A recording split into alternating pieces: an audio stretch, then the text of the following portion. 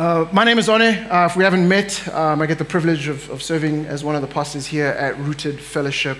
Um, and we start a brand new series uh, this morning. It's going to uh, take us 16 weeks to get through it. We're going to do, uh, do it in two kind of uh, portions. We'll do the first eight weeks, and then we'll take a five week break, and then we'll finish it up in the next eight weeks. And so we're going to be in the book of Psalms, if you haven't figured that out. Um, yeah, we're going to be in the book of Psalms, and I'm really, really excited about it uh, for so many reasons. Uh, we thought about this last year and been praying about it, and it's like, well, in our year of worship, because that's uh, the year that we're in. Uh, we've said 2024 for us is the year of worship, where we want to just lay it all at the feet of Jesus uh, in view of His great mercy to say, we just want to worship you. Um, and, I couldn't think of a, a better book to dive into uh, than the book of Psalms, because uh, the book of Psalms has, has so much kind of raw human emotion right? So it's easy to go, look, I'm going to worship Jesus with everything. I'm so excited. And then you walk out through those doors, and then life hits you in the face at 200 kilometers per hour, and you're like, what on earth is going on? Uh, what am I to do? Where am I to go? And I really believe that the book of Psalms answers a lot of those questions. Um, it allows us to, to be human uh, as we come to our Lord and Savior, asking Him to uh, rescue us, to help us, to give us strength, to heal us, all those things that we are in need of, I believe we can find them in the book of Psalms. And so here's what we've done. I mentioned this a couple of weeks ago. Um, and, uh, and so we have created a devotional uh, that will help you kind of walk through our sermon series. Um, and so every week, uh, as you come here and you hear the word preached, then uh, during the rest of that week, then what you can do is open up your devotional and walk through that particular psalm that was preached. And there's a couple of questions there for you, and just really uh, make the most of our study together. And so, uh, if you've ordered one, uh, then you should go to the Sawubona table. Uh, they'll have your physical hard copy there for you. Uh, if you didn't, don't panic, don't worry. We have a PDF version for you. Um, and so you can just go to our website, rootedfellowship.com, hit the resources page, uh, and it should be there ready for you to download. All right, so that's the Psalms devotional. You can, you can send this to whoever you want. Um, if you've got an aunt, an uncle, a cousin, a brother, a friend, you can just say, hey man, use this as an opportunity to go, listen, I want to talk to you a little bit about Jesus. At our church, we're walking through the book of Psalms. Maybe you and I can do this every week, right? We can read the Psalms together and then just kind of walk through the devotional. And so use it as an opportunity to uh, share the good news of Jesus with your one more, okay? So I just wanted to make mention of that. And then Next week, Sunday, is what we're calling Commitment Sunday. All right, Commitment Sunday. Uh, if you've been with us for a while, you'd remember uh, that we are on a two year discipleship journey on generosity. All right, there's a whole thing.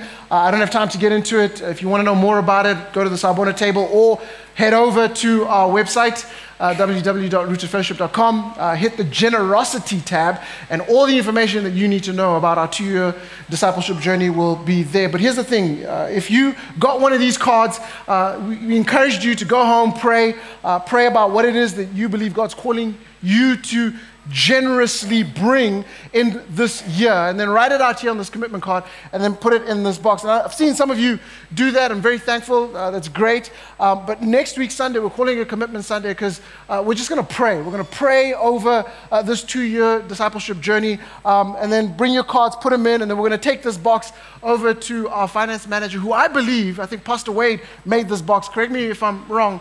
There's a screw uh, that only she has, and she'll be able to, yeah, yeah, okay, so no one can open it. It's pretty cool. I hope that's true. Otherwise, uh, you've just made me a liar in front of everyone. Um, so let's take it as if it's true. And, uh, and so it'll go to her, and then she'll just kind of take them all out and um, and then what we want to do is come back to you and say, hey, listen, here's, here's where we are. Now, I know this will constantly change uh, as the year goes on, as more people become part of Rooted Fellowship, as more people go, hey, listen, I want to be a part of this two year discipleship journey in generosity. But we just wanted to give you a quick update. Here's where we are, right? In the, in the last few weeks, uh, we've been doing this, and here is where we are. And so next week, Sunday, Commitment Sunday, if you haven't filled out your card and brought it and put it in, I'd encourage you to do so next week, Sunday. Is that cool? Make sense? Fantastic. All right. We're in the book of Psalms. Um, and we've, uh, we've called this sermon series uh, Psalms Mixtape. Um, and uh, I don't know, depending on how old you are, it was quite funny. We're busy singing because there's quite a, quite a few tapes in the artwork. uh, our seven year old leans over to me and goes, uh, Papa, what is, what is that? Um, and that, it was in that moment I realized, oh, wow, we are in a completely different generation. Um, but we've called it a mixtape because uh, we're not going to go through every single psalm, um, but we've picked out a few and we said, listen, let's, let's take these and just kind of go deeper into them. Um, and so we'll treat uh, this 16 weeks like a, like a mixtape, if you will. Uh, so, some of the best that we find in the book of Psalms. Now, hear me, all of them are amazing. Um, but we just took out a few, and, and, and so uh, it's the mixtape, right? I would love to have gone through every single one, but we'd still be here three years from now, especially the way that we preach here at Rooted, Lan Balan. Um, and, and so we've picked out a few and we hope that one of them, and I'm pretty sure many of them will, uh, will, will meet you where you are. Uh, doesn't matter. Uh, high, low, good, bad. Uh, there's a psalm for you that God is speaking to you. He wants to engage you where you are because He's a loving Father. And so we're going to kick off our series in Psalm 1, right? The very, very first one. But here's what I'm going to do. Before I read it and jump in, permit me to pray.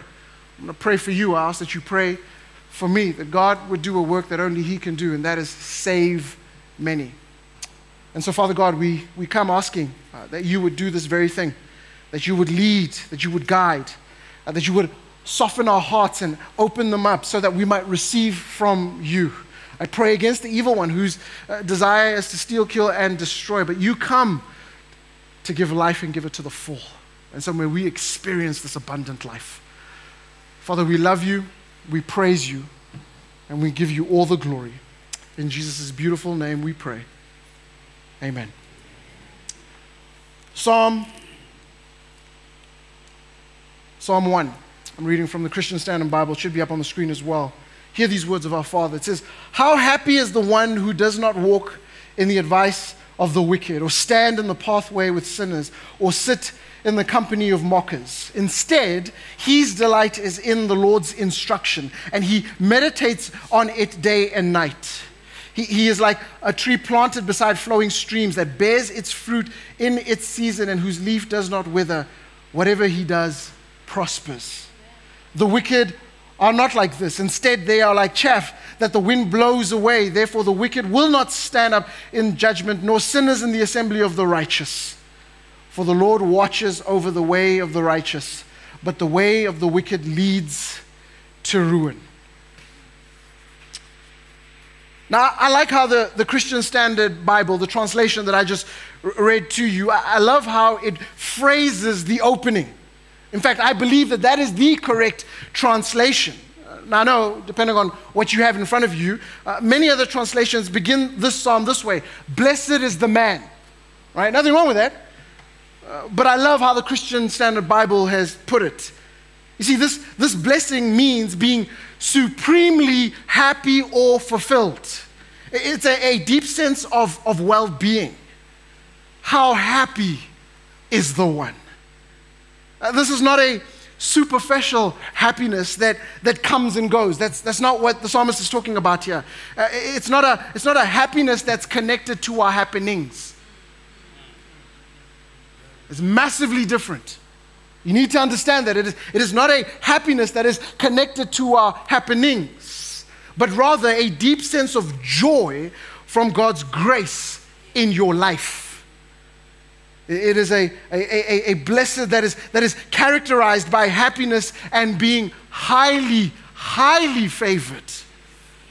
It's probably where folks get that, how you doing? Blessed and highly favored. Anybody say that this morning? Great, great. Because you should. You should. If you believe what the Word of God says, then you, you should.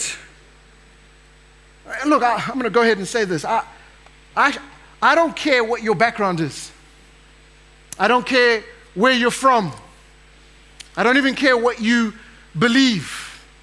Because at the core of every single one of us, that is what we want. I'm telling you, I've, I've never met someone who goes, you know what, I don't want to be blessed and highly favored. I just don't. At the core of who we are, that is what we want.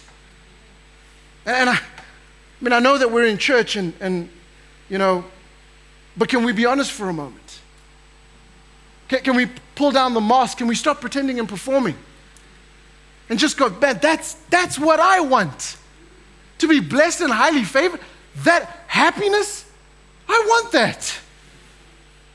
See, Psalm 1 offers us true, lasting happiness by presenting a, a series of contrasts between the, the righteous and, and the wicked. See, it, it describes two kinds of people living two kinds of lives with two kinds of outcomes. See, when, when we see the, the blessings of, of the godly next to the emptiness of the wicked, this stark contrast is, is, is supposed to, to move us towards the Good Shepherd. That, that, when we look at it and we go, listen, let, us just evaluate what's going on here, the, the psalmist is hoping that that would move us to go, you know what, I want to choose life. And, and not just any life, I want to choose the abundant life. See, the, the blessings God pours out are, are, are so beautiful and, and, and so compelling that, that any sane human being would go, Yeah, that's what I want. And, and, and deep down, they, they do. You know what the problem is? It's actually, I, I want to decide how I get there. That's the issue. So, so even as you're talking to, to those who, who say, you know what, I, I, I'm not a Christian. I, I, I, don't know, I don't know if I believe that God exists. Th- then take a few steps back and go, okay, but do you, do, do you want happiness? Do, do you want to, dare I say, be blessed and highly favored? And if they are honest, they'll go, yeah, I do. Then, then you go, then listen, what, we believe is that there is only one way to that. And, and, and look, man, and, and I'm telling you, I've done this before. Like, I'll take out a piece of paper and go, listen, happiness. I'll write on the one side, happiness. And then I go, now let's write all the things that you have done to try to achieve that, and let's talk about how it's going. It doesn't take too long before, and, and again, if you're honest, it doesn't take too long before you go, you know what, that's not working, that didn't work. That was a horrible, horrible thing to do. So it's not that we don't want happiness. The problem is that like we, we want to decide how to get there on our own terms. So, Psalm 1 is the, it's the, it's, it's the introduction to the book of Psalms. And, and it's, it's here that, that, that we should see the, the blessings God promises to those who love His word. We're going to get into it. But, but you cannot separate God from His word. And so he goes, Listen, you, you want to you wanna bless life? Man, you've, you've got to value the word. You've got to value the word. It's to those who continuously come to the word. It's, it's those who, who, who, who seek it out. It's, it's those whose souls are awakened to the wonder of God. Psalm 1 Psalm 1 is the, is the appropriate first track in our selection of Psalms. See, as we, as we unpack track after track after track, I hope you see what I'm doing mixtape track, okay, cool. Track after track after track, that, that, that, that all of this would, would, would, would point us to God. The promises of God meant for those who cherish His word are are meant to make us realize that, listen, I am loved more than I could ever imagine. Loved more than I could ever imagine because of the finished work of Jesus. And so it, it starts this way How happy is the one? How happy is the one who does not walk in the advice of the wicked, or stand in the pathway with sinners, or sit in the company of mockers. I hope you see the, the downward spiral of these negative descriptions. They, they are progressively getting worse. This is the progression of sin. See, this should remind us uh, that, that, that no one, no one, hear me, no one just falls into sin. Like I hear all the time. Oh, I just, I just, I just fell into sin. I just, I just fell into adultery. I, I just fell into that addiction. I just, I just fell into greed. No, no, no one just falls into sin. There is a progression. I say this all the time. Sin will always take you further than you want to go. It'll always make you pay more than you can afford. And it'll always want you to stay there longer than you wanted to. How many of us go, you know what, I just, just, just this one time. I'm just going to do just this one time, and then I'm going to stop. Or, no, no, this is the last time. The, the kingdom of darkness loves that because it, it's like you think it's a negotiation, but it's not. It's a hostile takeover. Sin's going, okay, I'll, what do I need to tell you to believe that lie? No problem. Just one last time. Come, let's go. It's the last time. I mean, you know what? Even I'll walk you back. That's the promise that I, I will walk you back. No problem. And then months later, you're like, I don't know how I got here. Like my life's in ruins. How, how did I end up here? It's the progression of sin. And the psalmist, right out the gates, I mean, he's, he's, he's given us the, the kingdom of darkness's playbook. He's like, listen, you want to be happy? Here's, don't do this. Don't go there. Walk, stand, sit. Walk, stand. See, first, first you, you'll be influenced by the world in your thinking. That's how it begins. You walk in the advice of the wicked. Friends, can I tell you that the quickest way to live a miserable life is to take counsel from people who care absolutely nothing about God. Now, I know, I know. Some of you are already pushing back. Oh, no, are you saying that I can? That's not what I'm saying. No, no, no, no. We take advice, common grace, right? We take advice from, from, yeah, from people who don't know Jesus. Like, I don't know, I don't know if my financial manager is a Christian. I don't know, you're right? So, but that happens all the time. But, but, but when you start asking some deep fundamental questions and you go to the wrong person, obviously you're going to get the wrong result. It's the quickest way. Because you know what they're going to do? They're, they're going to quote to you Second Opinions, chapter 3. so it's a great one, that one, huh? Because it's constantly changing. I love it. So postmodern. Or, or maybe they'll give you the, the gospel according to hashtag. And I know many of us, we eat that stuff up. What is my purpose to life? Well, let's see what Instagram has to say. That's how it starts. You start thinking, because you're, you're in counsel with the wicked. Then, secondly, you, you start behaving like the world in your doing. So, so the first one is in your thinking, but now all of a sudden, as this progressively gets worse, it's now in your doing. You stand in the pathway with sinners. It starts to get hard to distinguish whether you're a Christian or you're not. Like, I hear you say these things, but your life looks different.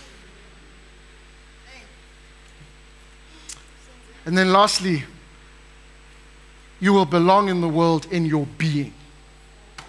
So, so thinking, then doing, then being.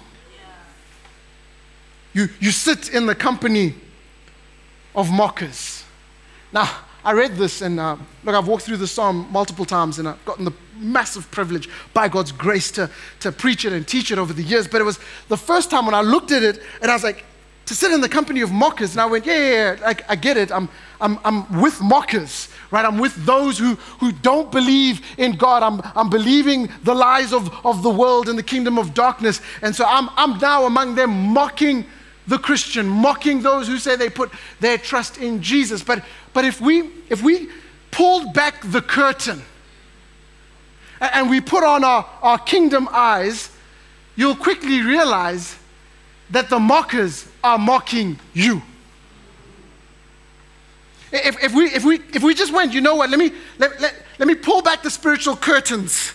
You'll see that the kingdom of darkness, while it, it may be like, yeah, we're together, Behind the scenes, they're laughing at you. That's how bad things have gotten. So, so then he says, don't, don't do this, but rather, verse 2, instead, his delight is in the Lord's instruction. He meditates on it day and night. What makes you happy? I think it's a valid question. What, what makes you happy? What gets you excited? I mean, this, this is a good way to determine what's important to you. I mean, oftentimes you don't even have to ask. If I know you well enough, I can, I can go ahead and say, like, man, you have, you have a high value for this. Well, why do you say that? Well, it's because you talk about it all the time. And not only do you talk about it all the time, you carve out time in your life to be able to do those things. You give resources to those things. I mean, if it's, if it's personal pleasure, if that's what makes you happy, then I'm here to tell you that, that you're probably a selfish, self centered person. Sorry. Maybe for you, it's not. It's, it's family and friends. That's what delights you. I mean, that, a little better than yourself, but hear me, it still falls miserably short. It will not give you the happiness that, that God wants to give you. So, what do you delight in? The, the psalmist says, the, the, the truly happy person, no matter the situation or the circumstance, that's important. No matter the, the situation or the circumstance, is the one who does what? Delights in the Lord's instruction. It, it, it's the one who, who delights in the law of God. It's the one who, who, who loves the Word of God. It's the one who loves the Scriptures. They go, man, this, this is what I need. This is what I need. I hope, I hope that, that right out the gates, we're, we're able to put one and one together. Right? That, that, that, that, like we're reading between the lines as the psalmist is writing here. Because here's the thing you, you cannot delight in something that you know nothing about or, or that you don't know that well. I, I, hope you, I hope you're reading between the lines here. You, it's, it's like if, if that's you, then please come tell us how to do it. Be, because throughout history, we've all failed. Humanity has failed. You cannot delight in something that you know nothing about. And yet today, there, there, are, there are so many people, so many people who go, No, I mean, I delight in the Word of God. I delight in God. And then you hear them talk, and then you go, I, I think you and I are talking about a different God. You quickly realize that they actually don't know God's word. And, and if, like, so where are you going to go? If you want to know more about God, where are you going to go? And it's not just, it's not just like people in the church, it's, it's people who stand on platforms like this. That's how scary it is. That there are people Sunday after Sunday after Sunday, they get up here and they go, I'm preaching, I'm preaching God to you. And you're like, but from where? That, that sounds more like a God of your personal imagination than a God of biblical revelation. And, and so that's what they do. They just keep giving you opinions. Here's my opinion about, here's how I feel. And I totally get it. Feelings, man, great. You know, they help us navigate through life. I say it all the time. Great. Here's how I feel. But you know what? Sometimes you're going to say, here's how I feel, and God's going to go, yeah, but that's not what I said. Yeah. And then we quickly go, yeah, you know, that it was written so, so long ago. You know, it doesn't, culturally, we have changed, you know. So, you know what you create? You create a postmodern God. That's just a nice way of saying you create a cult. Because that's what it is. So it's a postmodern God who, who he's, he's outdated. So, so now we have, to, we have to make him relevant. The moment you have to make God anything, we, we're in deep waters.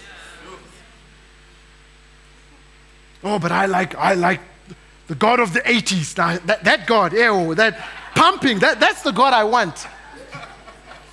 Right? These young kids today, and I'm, and I'm saying it for myself. Like I realized yesterday, we're hanging out with some friends, and I, I realized I'm coming to terms with the fact that I'm not as young as I used to be. Um, that's why I like hanging out with uh, more mature, older people, because then I'm just always young. But anyway, like, it's what they say. It's like, you know, the kids today, they just, you know, the God of the 80s. What are you talking about? Have you failed to recognize that God, God lives outside of our time? That's the God that we serve. He, he exists outside of our space. It's not to say that He cannot come into our time and come into us. In fact, He does it all the time. But it's the same God. Same God. And so, where, where you want to know Him? Where are you going? I'm all for commentaries. I read them all the time. I'm all for books written by uh, other believers and Christians. There's some great stuff out there. I'm all for it. But there's nothing, that nothing, nothing that will come close to the Word of God. Let me, let me, one, one more, one more. Because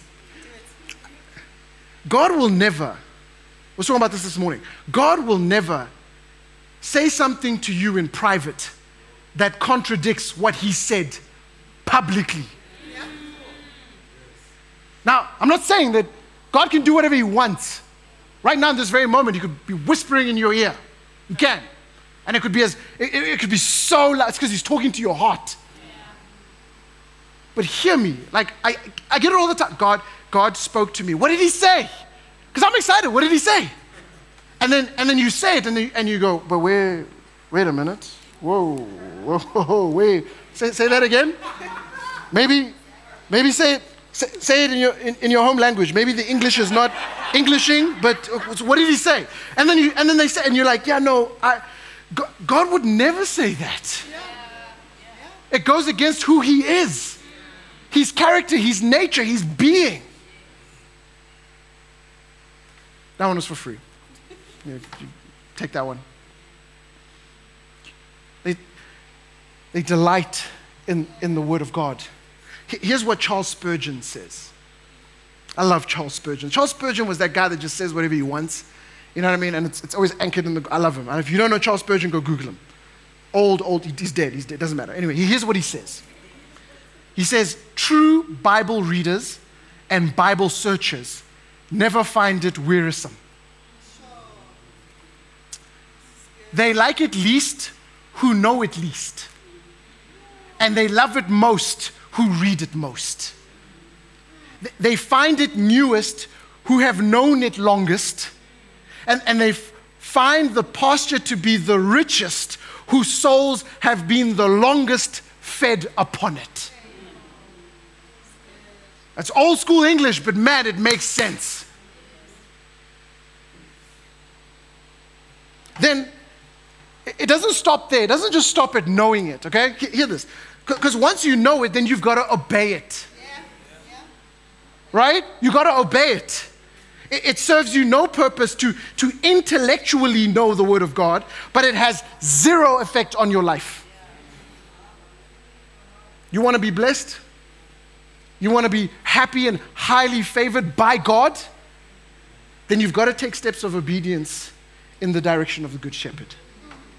You've got to take steps of obedience in the direction of the Good Shepherd. It simply means you've got to obey the Word of God. Obey God. So many of us, so many of us, oh, I know, I know. Like even now, it's Psalm 1, you're going, oh, let me take a quick nap. I know Psalm 1, read it so many times. Uh, this is going to be great. Yeah, you might be the person who knows it. But if we take a magnifying glass and we look at your life, it's like, yeah, you don't know it. You've got to take steps of obedience in the direction of the Good Shepherd. Look, I, I know many of us in here have great intentions. Even now, you're going, mm, you know what? Yes, this afternoon, my intentions are strong. but I need you to know it's, it's your direction, not your intention, that determines your destination. Let me, let me say that again.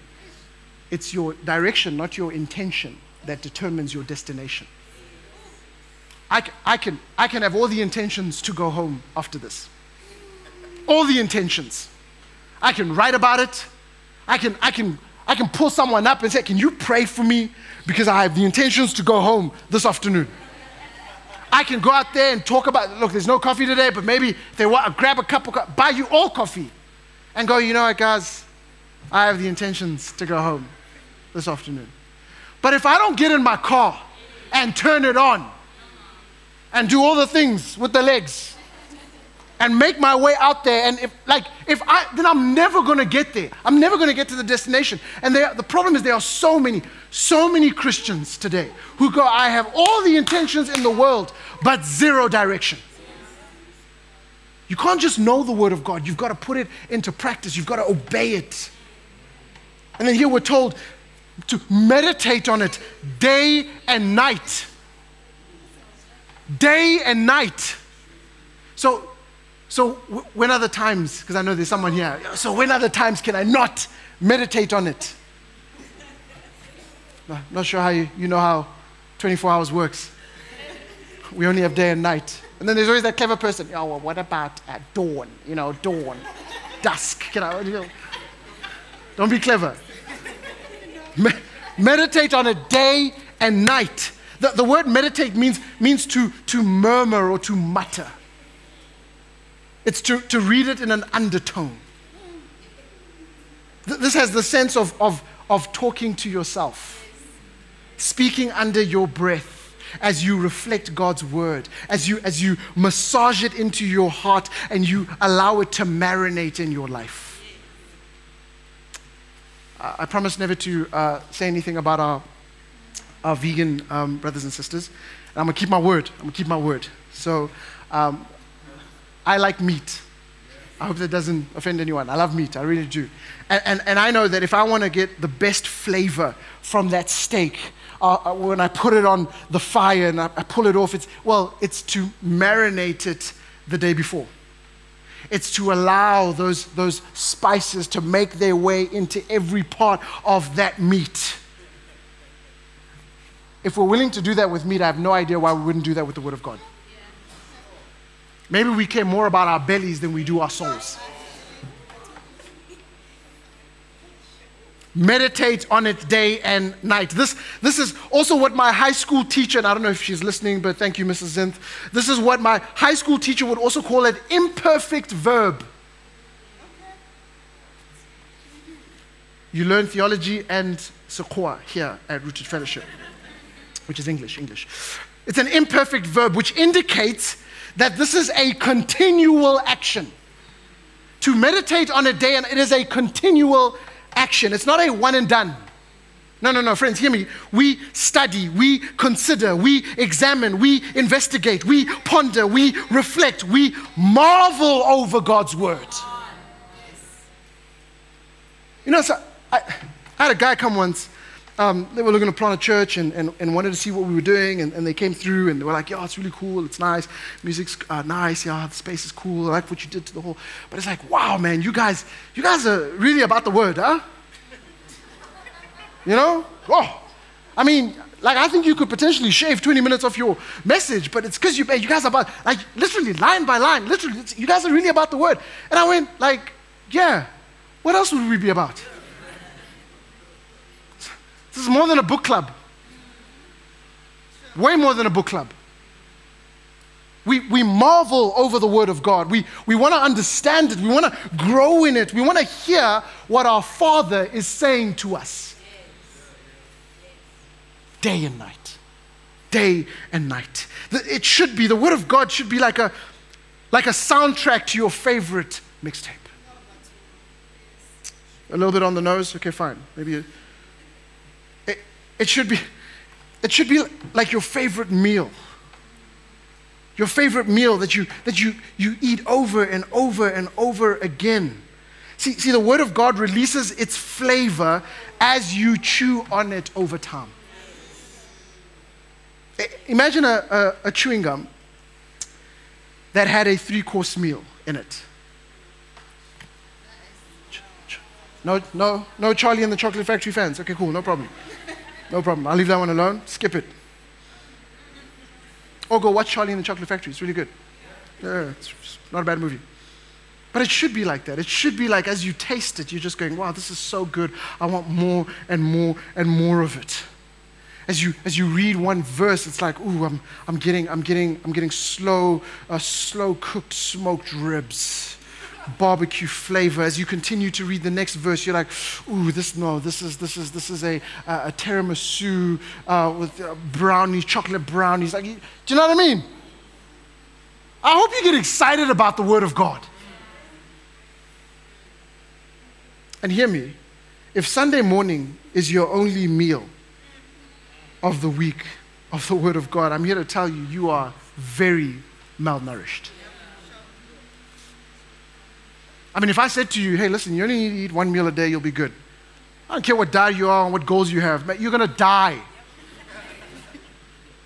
and yet, with the Word of God, we're, we're comfortable. Many of us are comfortable to be like, Sunday, Sunday I'm just going to, you know, feed me, feed me on air, feed me. And then you get like, I'll see you next week. It's day and night. And if you're sitting here going, I don't even know where to begin, please come chat to us.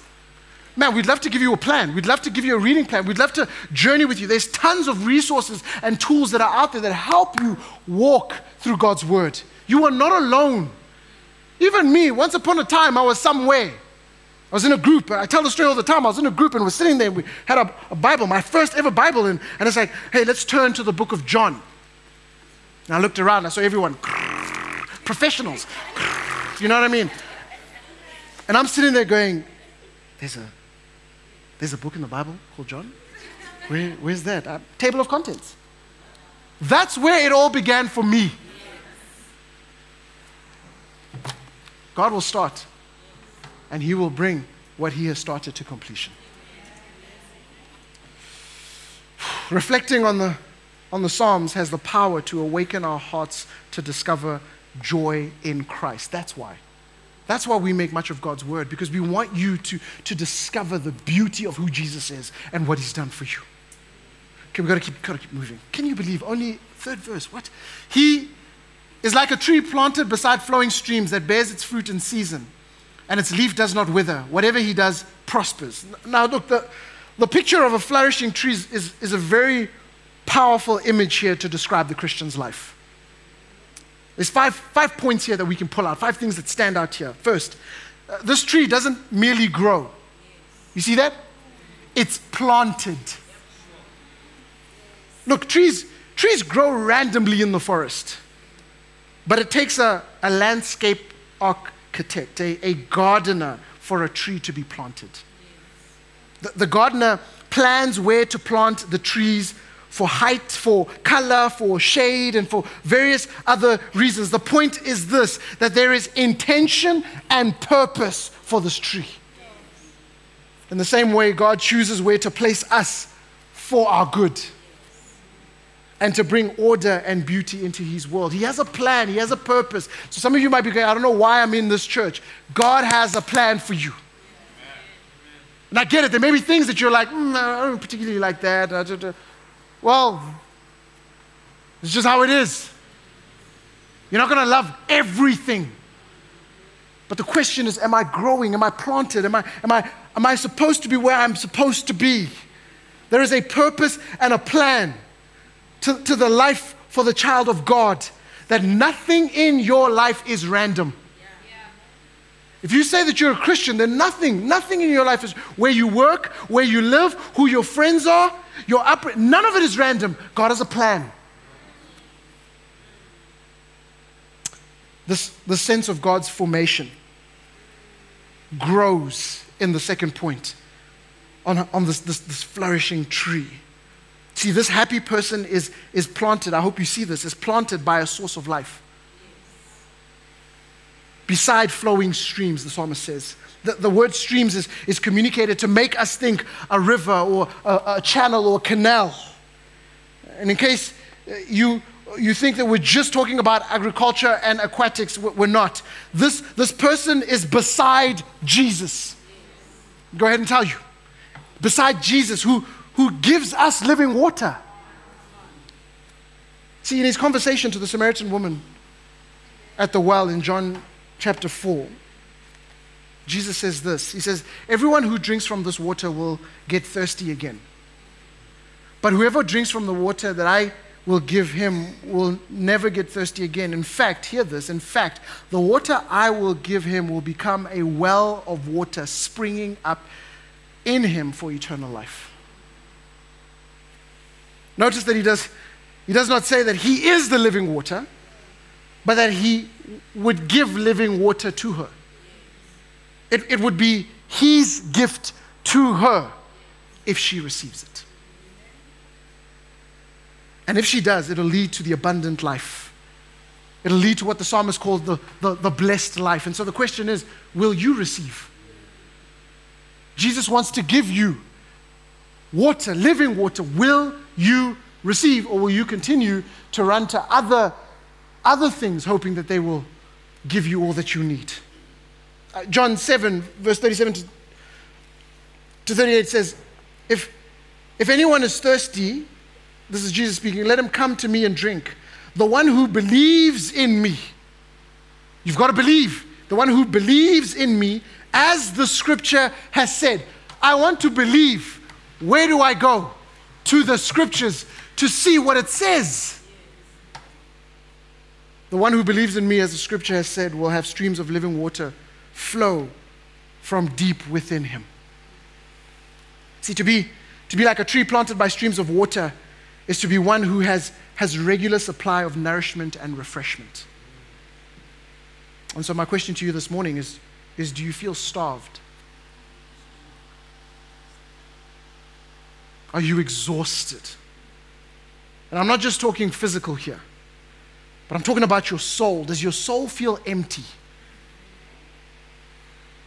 Are you just doing the motions? Are you just doing it because that's what I'm supposed to do?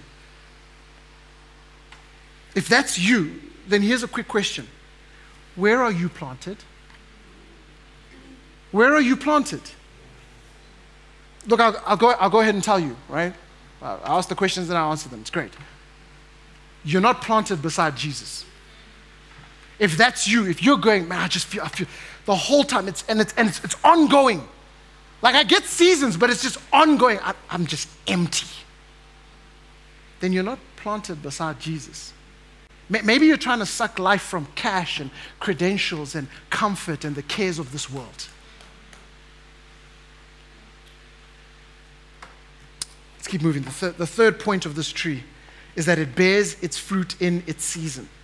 See, as you delight and meditate on God's word, you will produce fruit in its season.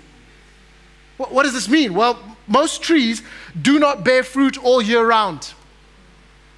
You will not bear fruit all year round. This is where I plug in community. This is why you need community.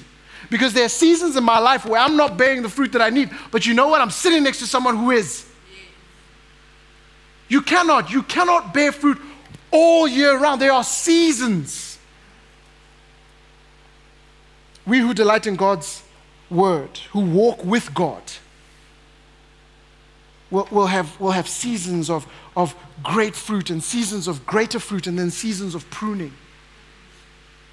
Where God is like, I want to do more in you, but, but I can't have you bear fruit here while I'm pruning you. He's, remember, He's the gardener, He's the one who has planted you, He knows what He's doing. And, and pruning is not a bad thing. I think sometimes we are ashamed of it. And so, you, you know we do? We, in the pruning, we stay away when it's actually when you need to be here because I'm not bearing that fruit. And so I need to be beside someone who is while God is pruning me so that I might bear more fruit. And then when it's your turn for pruning, you're beside me. But what do we do? We're like, no, no, no, I'm going to stay away while the pruning is happening because I just want people to see me always when I'm bearing fruit, always when I'm flourishing. That's not how it works. Adam Clarke says this a godly education, and he's not just talking about like a Christian school, he's talking about when we meditate on God's word. A godly education under the influences of the divine spirit, which can never be withheld where they are earnestly sought. Gosh, I love that. God will not withhold himself from you if you earnestly seek him.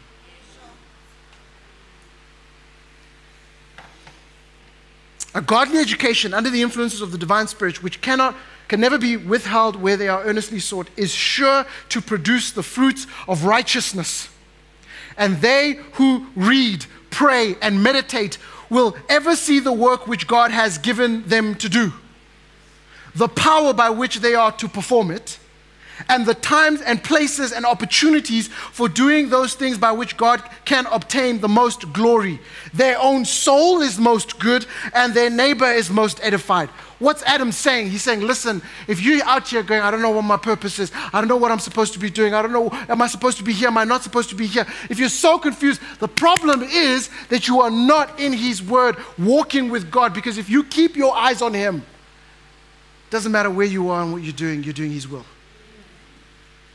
You're doing His will. You see, the godly person produces thanksgiving in seasons of plenty faith in seasons of doubt, patience in suffering, peace in turmoil, mercy when wronged, gentleness when falsely accused, strength in temptation, humility in leadership, and prayer in all seasons. We sang it, but we also see it in John 15 where Jesus says, Abide in me, and I will abide in you, and you will bear much fruit. Remain in me, abide in me.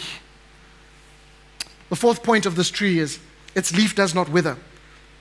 See, during the peak of summer, the grass can take on a dehydrated golden color as the scorching sun relentlessly cooks the earth. That's what happens. However, the blessed person, their roots go deep beneath the surface, drawing nourishment from waters provided by the gardener.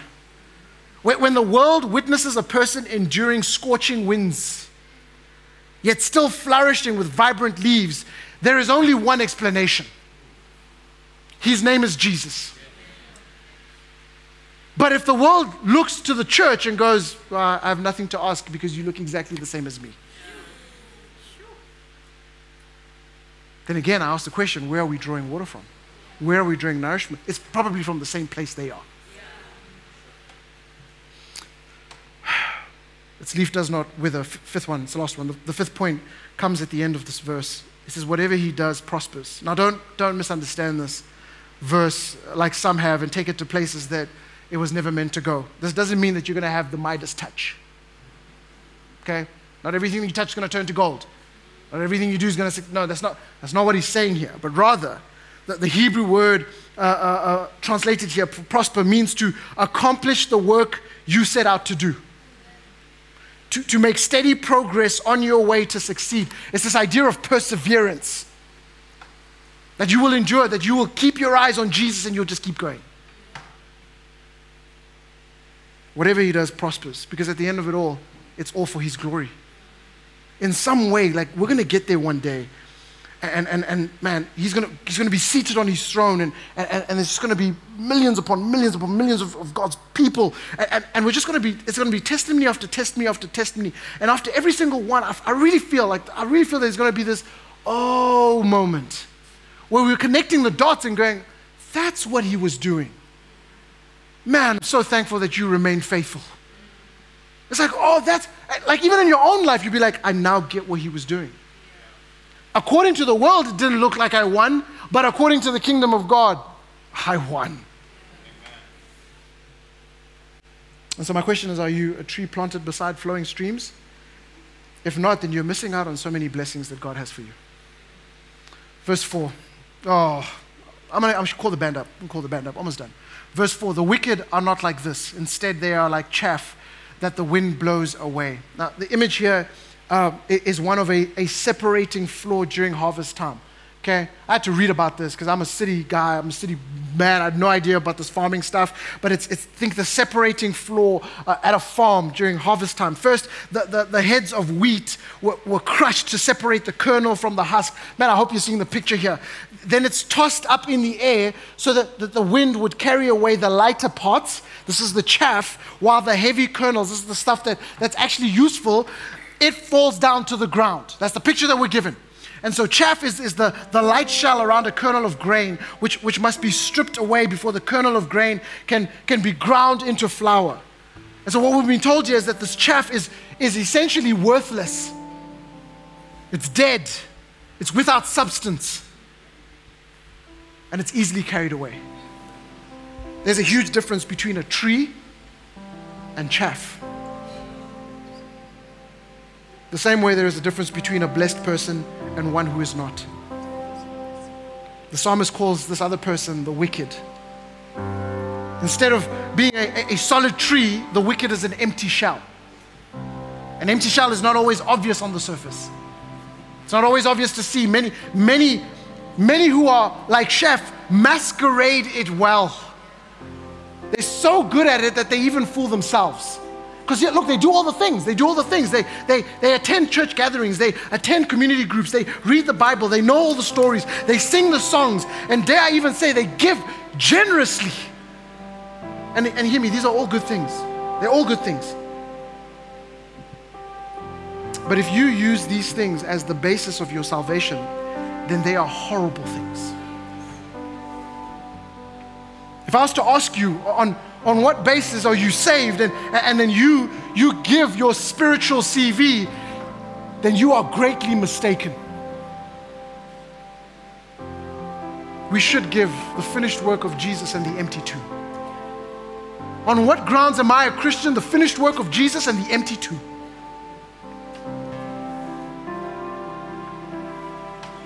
Therefore, the wicked will not stand up in the judgment, nor sinners in the assembly of the righteous.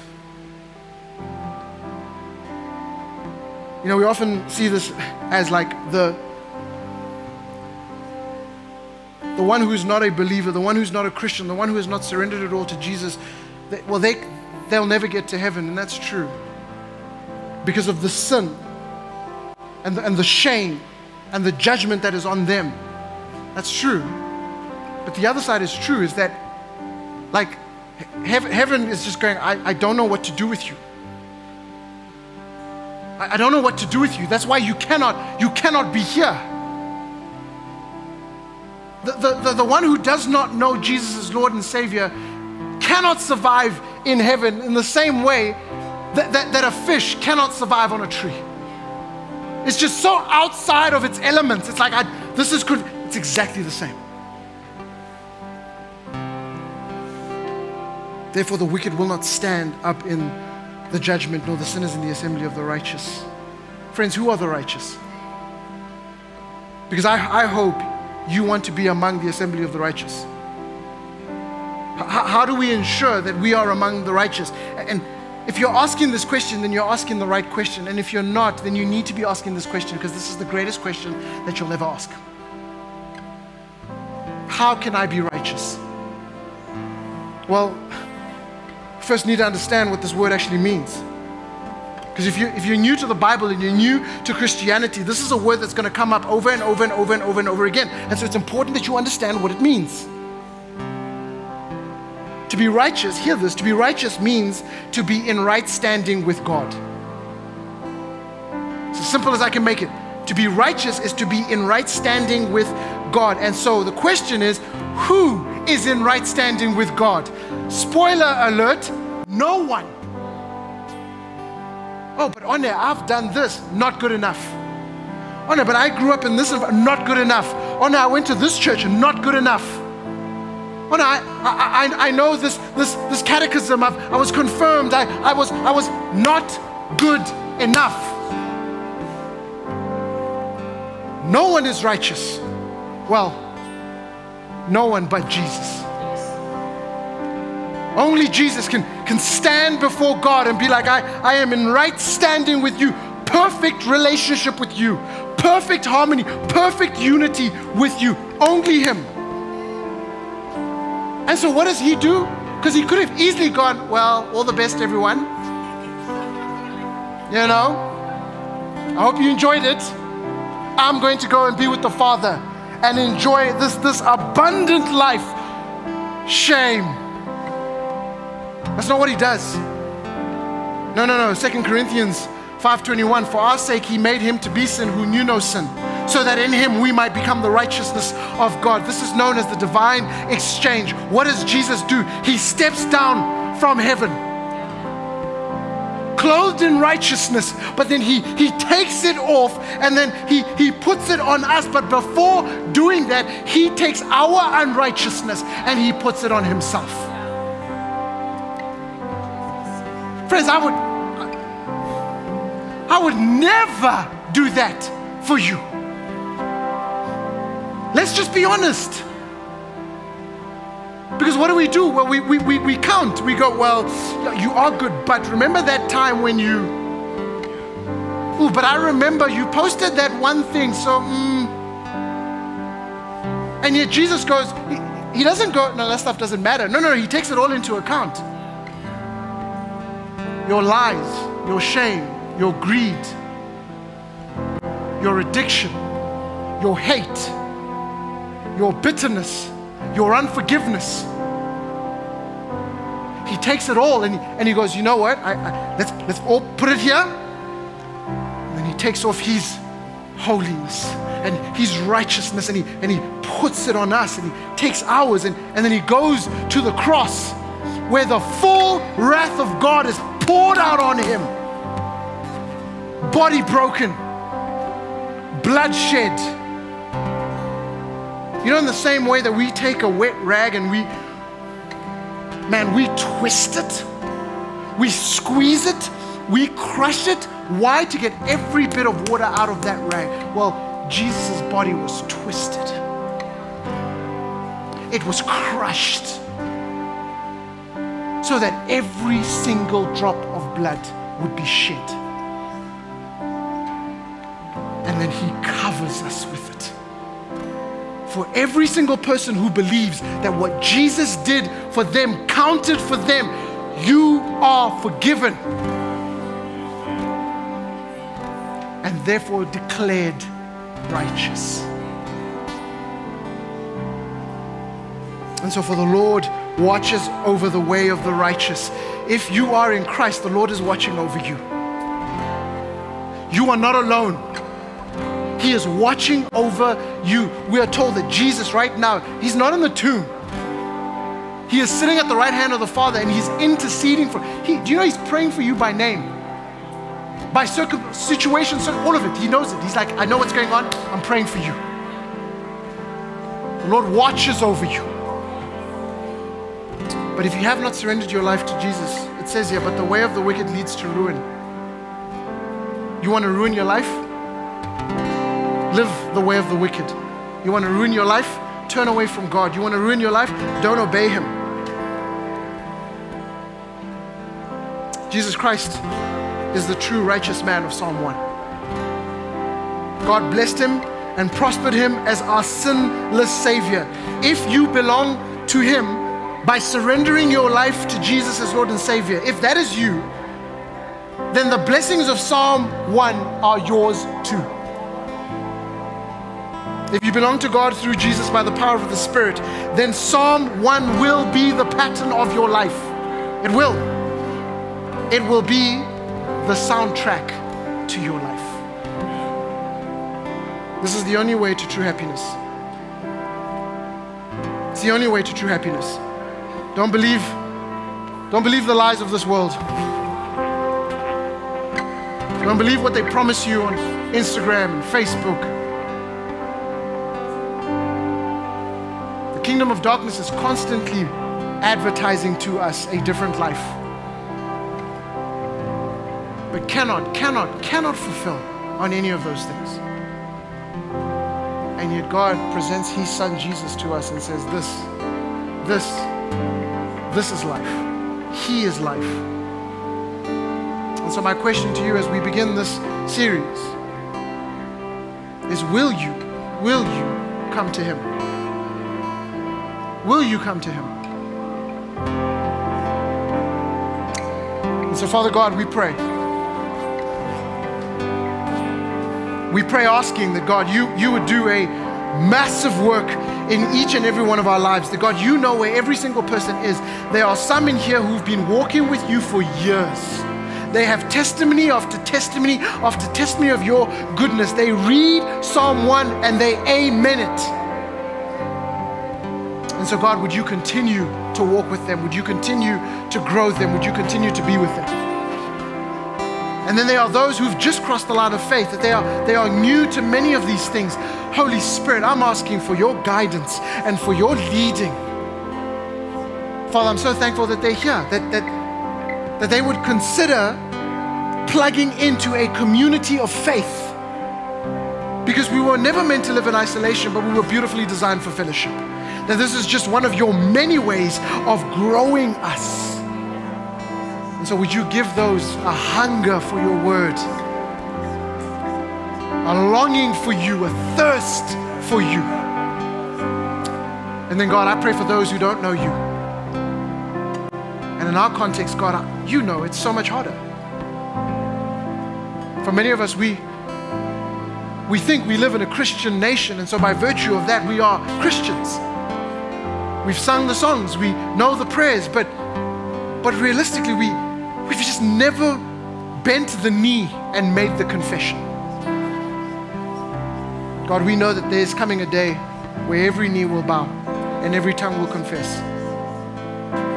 That at the end of it all, that, that's the only response. We'll bend and we'll confess. But my prayer is that many would be bending and confessing in worship because of the salvation that they have received. Would not be the bending and confessing in judgment because they denied you. And so, Father, I pray for those who don't know you that you would draw them to you, that it would be so powerful and so profound that it's, it's, it's just irresistible. There's nothing that they can do but come, to come and say, Jesus, save me. I pray that in this room. God, protect us, watch over us.